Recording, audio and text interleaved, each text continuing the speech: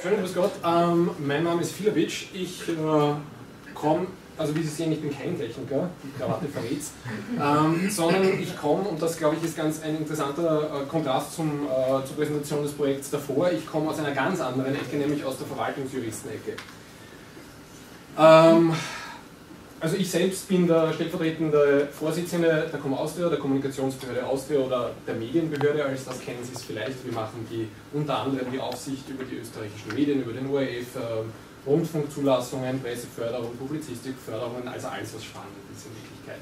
Und ähm, seit kurzer Zeit ist uns was Neues umgehängt worden, äh, über das wir nicht ganz äh, unglücklich sind, also es ist auch eine sehr interessante Sache, ähm, nämlich die Medientransparenz. Ähm, mein Name steht da deswegen auch, nicht nur weil ich jetzt zu Ihnen spreche, sondern weil die Austria das durch ein Einzelmitglied, also wir sind fünf Richter, wenn Sie so wollen, fünf Verwaltungsrichter, und ähm, die Medientransparenz, der Vollzug ist die Aufgabe eines Einzelrichters. Und der fröhliche Einzelrichter bin ich. Ähm, ich bin Jurist, ich ähm, komme vor allem aus dem Urheberrecht, also ich bin auch der, der Autor der österreichischen Creative Commons Lizenzen in der Version 3.0. Die Com Austria ist eben die Medienbehörde, die zuständig ist für die Vollziehung dieses Gesetzes, zu dem ich jetzt gleich etwas sagen werde. Die RTR GmbH, für die, die, ganz, die sich ganz besonders gut auskennen wollen, das ist unser Geschäftsapparat, da verwechselt man hin und wieder was. Ähm, aber also die Behörde ist die Com Austria, die RTR GmbH, das sind die, die, die Wichtel, die dankbarerweise all die Arbeit für uns machen. Ähm, in Nebenrollen, beziehungsweise die sehen es wahrscheinlich anders, in Nebenrollen 5146 meldepflichtige Rechtsträger und der Rechnungshof. Was die, für eine, was die für eine Rolle spielen, dazu gleich mehr. Jetzt gibt es dieses Medientransparenzgesetz, vielleicht haben Sie schon davon gehört, wahrscheinlich haben Sie äh, schon davon gehört. Ich bleibe jetzt mal bei der Bezeichnung Medientransparenzgesetz, die hat sich durchgesetzt und die geht auch besser als mit dem Kooperations- und Förderungstransparenzgesetz, das wäre die offizielle Bezeichnung. Ähm, dieses Medientransparenzgesetz ist noch nicht in Kraft, sondern das passiert nächste Woche, am 1. Juli tritt das Medientransparenzgesetz in Kraft, veröffentlicht ist es schon seit Jänner, daher kennen wir es schon ein bisschen länger und die Öffentlichkeit hat vielleicht auch schon ein bisschen Kontakt dazu gehabt. Ähm, wahrnehmbar wird dieses Medientransparenzgesetz das erste Mal für die Öffentlichkeit am 15.12., also im Dezember. Was passiert da? Das Medientransparenzgesetz ist, eine, ist ein Bestandteil des ersten Transparenzpaketes. Sie haben gerade vorhin von Turner gehört, es gibt gerade das zweite Transparenzpaket, da geht es um die Parteienförderung, ähm, um die äh, Nebeneinkünfte. Genau, die Nebeneinkünfte, das Lobbyistengesetz und so weiter und so fort. Ähm, das Medientransparenzgesetz kommt aus dem ersten Block. In diesem ersten Block war drin äh, erstens einmal die, äh, die erweiterte Impressumspflicht, also Medienunternehmer müssen jetzt oder Medien müssen in ihrem Impressum genau darlegen, wem gehören sie. Also in diesen die kleinsten Verästelungen sind die Eigentümerverhältnisse äh, darzustellen. Man hätte das auch leichter haben können, man hätte als Gesetz schreiben können, wer sind die Eigentümer von heute, äh, jetzt sagt es uns bitte. Ähm, man hat klarerweise, wie sich das gehört, allgemeiner und korrekt gemacht. Heute hat die Eigentümer schon offengelegt. Ähm, das ist der eine Teil. Der zweite Teil ist, ähm, ein, ein, ein, sind Inhaltsregeln. Das haben Sie vielleicht kennengelernt als das sogenannte Kopfverbot. Das heißt, es gibt ab jetzt Regeln, wie Inserate von unter Anführungszeichen Politikern ausschauen sollen. Nämlich, es darf keine Imagewerbung sein, es darf auch nicht bloß zum Teil Imagewerbung sein. Wie das abgeht, bin ich sehr gespannt. Ähm, dazu kann ich nur sagen, den guten alten Beamtenspruch, wir sind dafür nicht zuständig. Ähm, und den sage ich gerne oft und laut, weil das wird sehr spannend. Also, ähm, falls Sie sich fragen, wer dafür zuständig ist, niemand. Zuständig ist, zuständig ist, also es gibt keine Behörde, die das voll, vollzieht, sondern zuständig für den Vollzug dieser Inhaltsregeln ist die kritische Öffentlichkeit oder die Bürger mit dem verdichteten Rechtsempfinden oder wie auch immer sie es nennen wollen. ähm, also in Wahrheit Sie. So, worum geht es jetzt, jetzt bei dem, was wir tatsächlich, also weswegen stehe ich jetzt hier? Ich stehe hier wegen des Medientransparenzgesetzes, das zwei ganz wichtige Sachen vorsieht. Ähm, ursprünglich, die ursprüngliche Intention des Gesetzgebers war, man will überprüfen, ob ähm, und in welchem Ausmaß öffentliche Stellen ähm, Geld verwenden oder Politiker wieder unter Anführungszeichen Geld verwenden, um sich positive Berichterstattung zu erkaufen. Durch Inserate, durch Doofkostenzuschüsse, durch Förderungen, durch Medienkooperationen, welches Makel Sie auch immer verwenden wollen. Das ist jetzt ein Problem, das ist nicht ganz unbekannt. Ähm, und dann waren wir ein bisschen, dann waren wir gerade so in, in, voller Fahrt und alle waren dafür, weil da kann keiner dagegen sein. Und dann hat man es ein bisschen ausgeweitet. Also es geht jetzt nicht mehr um die Frage, ähm, welche Politiker erkaufen sich durch Inserate positive Berichterstattung, sondern man hat es ausgedehnt. Also der Zweck des Gesetzes ist jetzt vor allem zu schauen, wo fließen öffentliche Gelder in den Bereich Medien. Also wo gibt es von öffentlichen Stellen ähm, Zahlungen an die Medien. Das hat zur Folge, dass man einen, einen relativ breiten Adressatenkreis sich, äh, sich ausgewählt hat. Also es sind jetzt nicht nur die äh, Ministerien und die großen Gemeinderäte, ähm, sondern es ist jetzt sehr umfangreich. Es sind beinahe alle Rechtsträger, die der Kontrolle des Rechnungshofs unterliegen. Und daher war da vorhin, haben Sie gesehen, in einer Nebenrolle der Rechnungshof, weil nur der kann sagen, wie alles seiner Kontrolle unterliegt. Und all diese Rechtsträger müssen melden, was sie pro Quartal an welches Medium gezahlt haben. Nicht wie viel sie inseriert haben, also nicht wie viele Inserate sie geschaltet haben, nicht was drin gestanden ist, sondern es muss gemeldet werden, wie viel Geld wurde pro Quartal pro Medium ausgegeben. Also wenn zum Beispiel, Beispiel das ähm, Finanzministerium Inserate geschaltet hat in der Kronenzeitung in einem Quartal für ungefähr 50.000 Euro, dann muss das angegeben werden, dann muss das an die Komaustra gemeldet werden. Insgesamt sind es 5.146 Rechtsträger, das geht von den, verstehen Sie es nicht falsch, von den wichtigen bis zu den eher kleinen. Also von, vom, vom äh, Finanzministerium oder vom Bundeskanzleramt bis zum, äh, was war besonders originell, äh, Verband der Tanzlehrer Steiermark oder, ähm, oder dem ähm, Tierkörperverwertung Zwettel, also es ist, es ist viel drin. Wichtig ist, alle diese Rechtsträger, alle diese 5146 Rechtsträger müssen melden, also wenn, selbst wenn nicht inseriert wird von denen, also selbst wenn der Tanzlehrerverband nichts schaltet, muss er sich trotzdem bei der Com Austria melden und sagen, wir schalten nichts oder wir haben in dem Quartal nichts geschaltet. Was muss alles gemeldet werden? Es muss gemeldet werden Inserate, es müssen gemeldet werden Kooperationen, es müssen gemeldet werden ähm, Förderungen, es müssen gemeldet werden Druckkostenzuschüsse. Also mehr oder weniger immer wenn Geld für eine Gegenleistung erbracht wird, im Fall der Förderungen ohne Gegenleistung, dann ist das zu melden. Und zwar Leistungen an wen?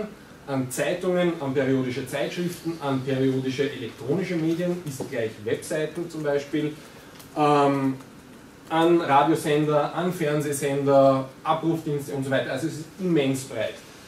Notabene nicht nur an inländische, sondern auch an ausländische. Sie sehen, es ist ein bisschen ein breiterer, ähm, ein, ein breiterer Fokus, den man hier genommen hat. Ja, viermal pro Jahr, jeweils zwei Wochen nach Ablauf des Quartals muss es gemeldet werden. Es gibt eine Bagatellgrenze, unter 5000 Euro pro Quartal und pro Medium muss der Rechtsträger nichts melden. Was passiert jetzt? Ähm, es gibt diese Liste des Rechnungshofes, die ist der Behörde. Wir wissen ja nicht, wer aller vom Rechnungshof geprüft wird. Also ein paar Sachen können wir uns vorstellen, aber wirklich alle wissen wir nicht. Ähm, es gibt daher ein Verfassungsgesetz, da steht drin, der Rechnungshof muss der Austria diese Liste vorlegen, wo die, wo, wo die alle drinstehen. Anfang des Jahres. Jetzt hat der Rechnungshof Anfang des Jahres großzügig interpretiert und wir haben letzte Woche die Liste vollständig erhalten. Immerhin ist es in, in der ersten Hälfte des Jahres. Also da kann man nichts sagen. Ähm, das ist das Erste. Jetzt, jetzt, wissen diese Rechtsträger, die werden alle von uns oder wurden schon von, von, uns angeschrieben, wissen, dass sie ab 1. Juli, also ab nächste Woche, alle diese Daten sammeln müssen und am Ende des Quartals müssen sie diese Sachen melden über eine Webschnittstelle mit einem eigenen, mit einem eigenen Account. Und jetzt komme ich, zu, ich zu der Sache, die mich hierher bringt. Ähm, die Com Austria hat jetzt gesetzlich vorgeschriebene Veröffentlichungsverpflichtungen. Die Com Austria muss einerseits eine sogenannte Ampelliste veröffentlichen. Das ist eine Liste, wo nichts anderes drinsteht als wer hat rechtzeitig gemeldet und wer hat nicht rechtzeitig gemeldet. Und das ist auch farblich hervorzuheben. Also grün und rot können Sie sich jetzt vorstellen. Das ist die erste Liste, die wir melden. Das gibt schon mal einen groben Überblick, äh, wer hat es vergessen oder wer hält sich nicht dran. Und dann, ähm, nachdem die Rechtsträger uns gemeldet haben am Ende des Quartals, müssen wir am 15. Dezember, das ist gesetzlich festgelegt, alles veröffentlichen, was uns gemeldet wurde. Also all diese Daten müssen von uns veröffentlicht äh, werden.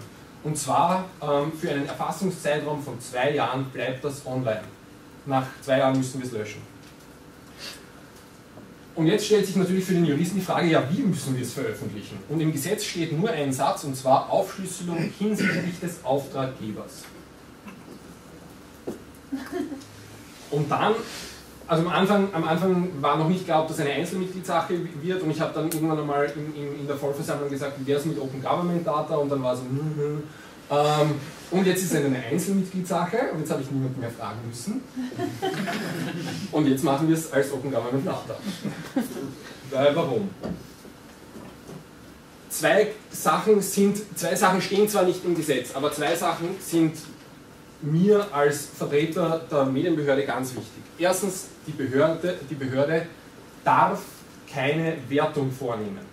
Also wir sollen oder wir dürfen nicht ähm, zum Beispiel Reihen nach, wer kriegt am meisten Geld. Das wäre bereits eine Wertung. Und es steht uns auch nicht zu, zu sagen, liebe Leute, jetzt könnt ihr es nicht ordnen nach Rechtsträger, sondern ihr könnt es auch ordnen nach, wer hat wie viel bekommen. Das sind alles Wertungen. Ähm, was wir auch nicht machen dürfen als Behörde, die diese Sachen nur entgegennimmt und veröffentlicht, ist eine Verwertung dieser Daten. Also es ist auch nicht Aufgabe dieser Behörde, ähm, zu schauen, was können wir jetzt mit diesen Daten machen. All das steht der Behörde nicht zu. So, und jetzt steht im Gesetz Aufschlüsselung hinsichtlich des Auftraggebers. Was ist das Erste, was man sagt, wenn man vor allem auf proprietäre Formate steht? Passt, wir machen das als PDF-File. Oder wenn, oder wenn Sie wollen, können Sie auch, könnten wir es auch als Excel-Liste veröffentlichen, wobei Excel hat schon mal das Problem, da können Sie bereits andere Reihungen vornehmen und so weiter. Also wir wollen auf der sichersten Seite bleiben und wir sagen, das, was wir auf unserer Webseite veröffentlichen, das machen wir als PDF. Wenn Sie es kurz durchrechnen wollen, 5146 Rechtsträger, ungefähr 500 Medien, 500 plus wahrscheinlich, das sind einmal über zweieinhalb Millionen Daten, die da interessant sind. Man kann auch intransparent sein, wenn man alles herzeigt. Ja, also wir könnten hier eine totale Intransparenz schaffen, indem wir sagen, da steht eh alles, das ist ein PDF, könnt ihr es im Volltext durchsuchen. Das ist, das ist nicht der Sinn der Sache und daher hat sich für mich die Frage gestellt, wo, wenn nicht hier? Also ich möchte jetzt nicht despektierlich gegenüber ähm, Toilettengeodaten sein oder wo finde ich den nächsten Campingplatz in Wien oder wie alt sind die Bäume in Wien, also wie alt sind die Bäume in Wien, finde ich eine großartige Datenbank. Aber wo gibt es eine Open Government Data Anwendung, wenn nicht hier? Wenn dieses Medientransparenzgesetz sich zum, äh, zum, zur Mission gesetzt hat, alles transparent zu, zu, machen, warum nicht, warum nicht hier? Und wer vor allem, wenn nicht die österreichische Bundesverwaltung, um, um damit vorauszugehen? Ähm, nämlich mit der Frage, wenn man, wenn man da Druck aufbauen will, nämlich man schaut euch auf die Finger, dann mit echter Transparenz und nicht mit einem PDF ähm, nicht mit einem PDF, das man dann vielleicht ein bisschen durchsuchen kann. Ähm, ganz kurzer Exkurs ins Rechtliche und ich höre auf, sobald ich mehr als zehn geschlossene Augenpaare sehe. Ähm, wir hatten ein beträchtliches Problem mit den Open Government Data Principles. Also vielleicht kennen Sie die, wenn Sie hier sitzen, kennen Sie sie ziemlich sicher. Ähm, da gibt es in, in, in Österreich zehn empfohlene. Und jetzt werden Sie sagen, Moment, zehn? Das waren ursprünglich weniger. Ähm, und tatsächlich waren es ursprünglich weniger, man hat sich zwei zusätzlich ausgedacht. Und eines dieser zusätzlichen Prinzipien hätte uns fast ein bisschen ins Knie geschossen, nämlich das Prinzip, es dürfen keine personenbezogenen Daten veröffentlicht werden. Ohne hier das jetzt großartig auszuführen, aber das ist meine persönliche Meinung, ich halte dieses Prinzip für einen Fehler. Ich halte es für nicht gut.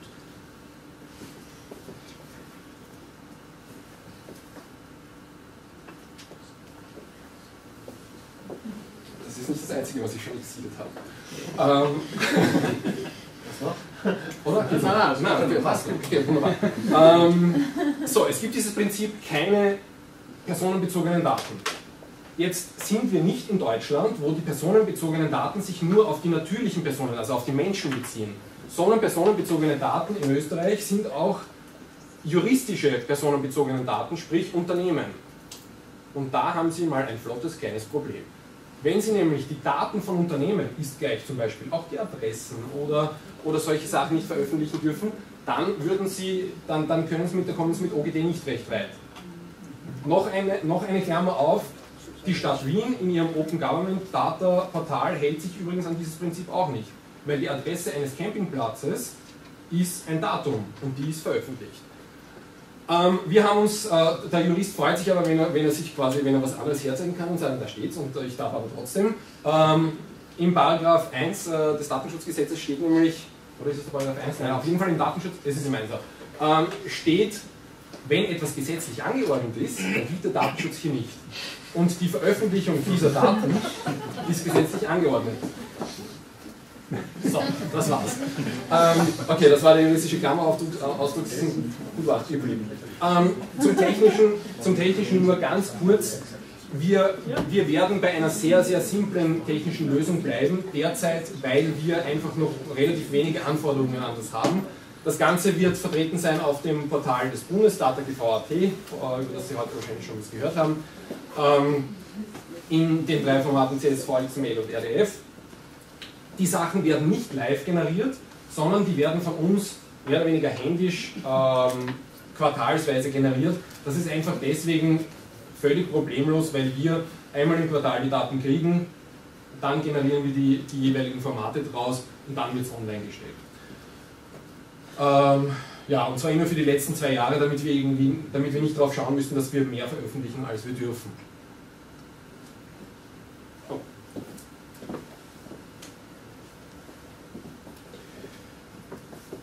So. Und das ist jetzt, das ist jetzt ein Appell.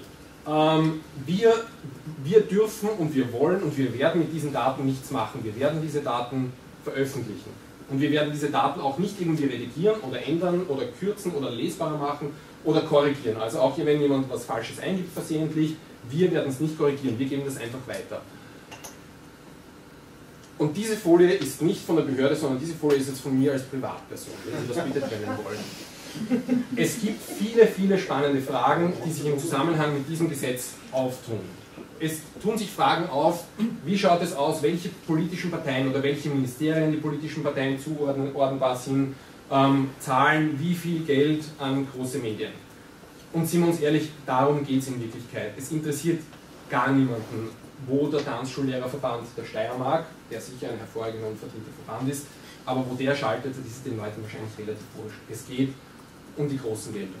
Das erkennen Sie auch daran, dass der Gesetzgeber sagt, alles was unter 5000 Euro pro Quartal ist, interessiert mich überhaupt nicht. Ähm, es wäre interessant, sich anzuschauen, wie schaut das aus mit Gratismedien versus, versus echte Medien. Es wäre interessant, sich anzuschauen, ähm, das ist jetzt, für das bin ich schon mal gerügt worden, als ich das in einer Diskussion öffentlich gesagt habe. Auf der einen Seite haben Sie die Presseförderung, die wird von der Com Austria, auch ich bin auch das verantwortliche Mitglied, verteilt. Presseförderung ist 12 Millionen Euro ungefähr. Und auf der anderen Seite haben Sie die Inserate der öffentlichen Hand in den, in den, in den Zeitungen. Das, sind, das ist ungefähr das Zehnfache vom Volumen her. Hm? Ich sage jetzt nicht, man könnte sagen, das ist eine andere Art von Presseförderung. Das sage ich ausdrücklich nicht. Ähm, aber diese Gegenüberstellungen, das wäre alles sehr interessant. Es, wär, es gibt hier viele Möglichkeiten der Filterung, es gibt hier viele Möglichkeiten der Visualisierung, es gibt hier viele Möglichkeiten der Verschränkungen mit anderen Daten. Ähm, man kann sich anschauen, ist das plausibel, was hier gemeldet wird, weil das auch ganz wichtig, die Comaustria macht das nicht. Wir überprüfen nicht 2 Millionen, 2,5 Millionen Datensätze. Dazu ist ein, eine Person ein bisschen wenig. Ähm, wir nehmen die Meldungen entgegen und wir veröffentlichen sie. Äh, und dann stellt sich die Frage, ob es dadurch eine Änderung in der Vergabepraxis gibt. Also um sich da, einen, um sich da jetzt gerade einen aktuellen Werbespruch eines äh, des Staatssekretärs für Integration auszuborgen, der auch mittelpflichtig ist, ähm, jetzt werden Sie gefragt. Also falls Sie, äh, es ist derzeit kein Geld damit zu gewinnen oder auch kein Preis ausgeschrieben, ähm, aber falls, ja, ähm, falls Sie Ideen haben, wie Sie diese Daten verwenden können und wollen, ich glaube es gibt viele Möglichkeiten, ähm, ich würde Sie darum ersuchen, unsere Daten sind ab 15. oder nicht unsere Daten, aber die Daten, die die Commaustria veröffentlichen muss, ist ab 15. Äh, Dezember 2012 online. Vielen Dank.